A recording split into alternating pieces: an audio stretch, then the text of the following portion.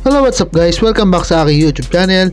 And in this video, ipapaliwanag ko nga sa inyo kung paano magkaroon ng additional skill yung inyong mga mount at the same time at kung ano-ano pa yung ibang bug dito sa MU Dragon Adventure Mobile.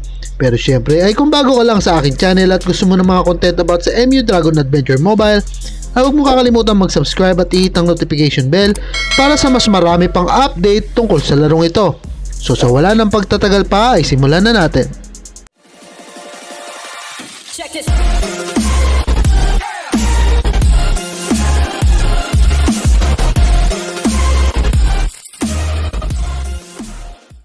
So ang topic natin for today is about sa mount skill at saka yung bagong event na makikita mo sa item mall. Prediction na parang box of heaven do sa traditional MU no.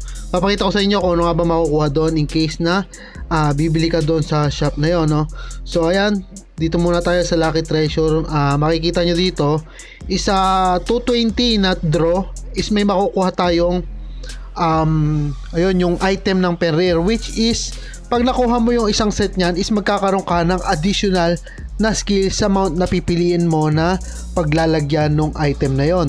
So ito para ma-combine yon is uh, ito medyo madugo, ma- medyo mahal ang pagko-combine nun kung talagang mano-mano mo i-combine. So kailangan mo ng limang orange na mount gear, then isa nitong melt stone para maging isa siyang ganto.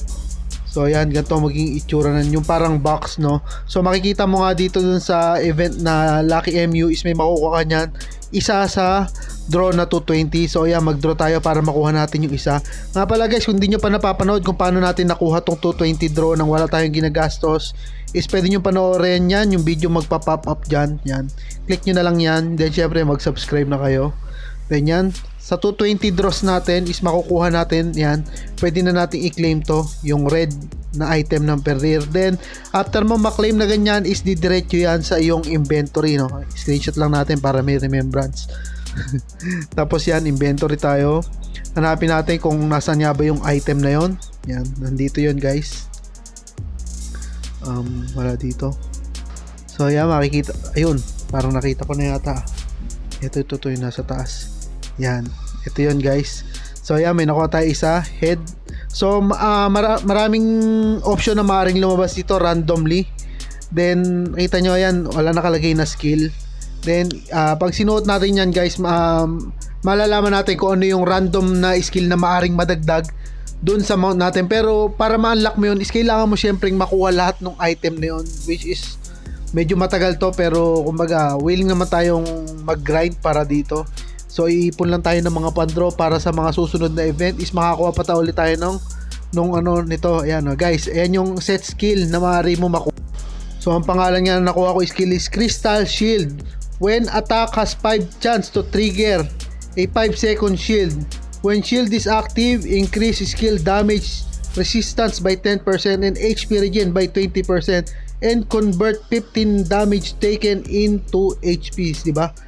ang cooldown nito is 150 seconds no so parang mga 2 minutes and half mga ganon so ayan random naman yan so ang mga makukuha mo pang possible na makuha mo skill is ito nga itong uh, frozen land flame storm and frostfire then yung nakuha natin is crystal shield hindi ko lang alam kung ano mga description yan pero siguro maghahanap ako kung sinong sa mga kakilala ko merong mga skill niyan pero in case na makita ko is uh, gawa na agad natin ng video, i-compile ko kung anong mga effect na mga skill na yan.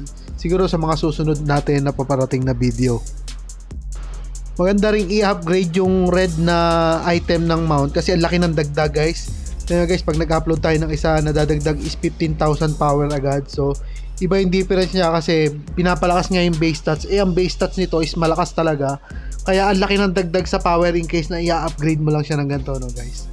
Naman natin is tong bago yung sa prediction yan. Yung para mga box of heaven. So tining makikita mo to guys dun sa shop sa mall item mall. Yan claim lang muna natin. Then syempre para mapakita ko sa inyo kung ano nga ba makukuha in case na ipalit mo to uh, yan iano natin bibili tayo ng gift pack dito para mapakita sa inyo yan 9 Bali 56 pesos, uh, 1,200 nitong token nito. Bibili natin tong tatlo para mabili natin yung kung anong pwedeng bilhin doon. At the same time, mapakita sa inyo kung ano nga ba talaga yung makukuha dito. Yan, hintay lang natin guys. Yun, isa. Nakaisa na tayo. Yan, dalawa na. Pangalawa na natin to guys. Okay. So magkano na kaya yung ating Box of Heaven token? Hindi ko lang alam kung ilan na pero tingnan natin kung may mabibili na tayo dun sa item mall. Yan. Okay, dito yun sa mall. Then sa guessing mall, yan ito. So kailangan natin ng at least 5k. Yan, nakalagay kasi dito ito makukuha. Titingnan natin guys kung ito talaga yung makukuha. Pag hindi dyan, lugi negosyo natin. Nakita ko rin dito na may makukuha ka nung parang orange na ano. Yan, orange na na pang element no? So solid yung pag nakakuha ka nung kasi yung purple nga lang yung meron tayo dito. So ayan tingnan natin. Kuha tayo ng flame or fire. Then magtapa pa tayo siguro ng isa para makuha natin to. Yan so pangatlong gastos na natin to. Pangatlong 56 pesos na to guys. Okay. Google Play Gcash nga pala guys ang gamit ko pang top up yan via Google Play Google Play Store yan diretso na okay So yun, okay na. Then bumili na tayo. Tingnan natin kung may makukuha tayong orange na pang element. So hanapin natin yung fire. Fire yung bibili natin kasi fire yung yan ito guys.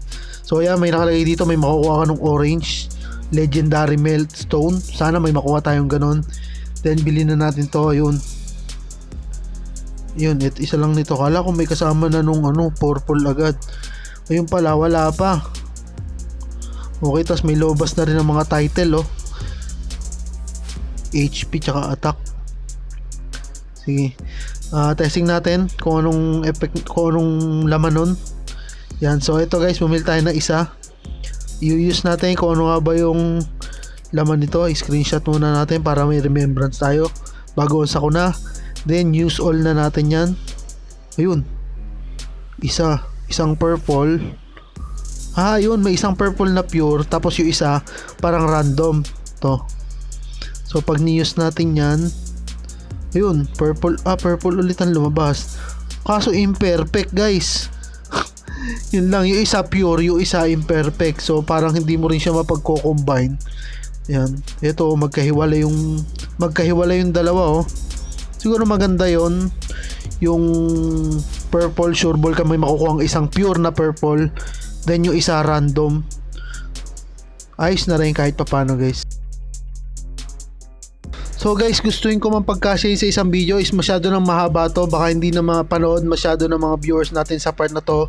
Kaya siguro gawa natin ng part 2 to para naman dun sa uh, reflection na option na topic um, yung reflection kasi na option is bugs uh, uh, sa ngayon. Then ipapaliwanag ko yan sa susunod na video. Ba't ko sinabing bug yan? At paano nga ba makakuha ng option na reflect no? So kung nagustuhan nyo itong ganitong klaseng video huwag nyo kakalimut na mag subscribe at ihit ang notification bell para sa mas marami pang update tungkol sa MU Dragon Adventure Mobile. Maraming salamat sa panonood and see you on my next video. Yeah Everybody knows that I'm breaking down. Everybody knows I ain't faking now. Everybody knows my heart's vacant now. Yeah, she hates me now, I made mistakes but now I don't ever wanna be alone. I don't really ever feel at home On my own, in the zone. That's the only way I know. Feeling low, about to blow back up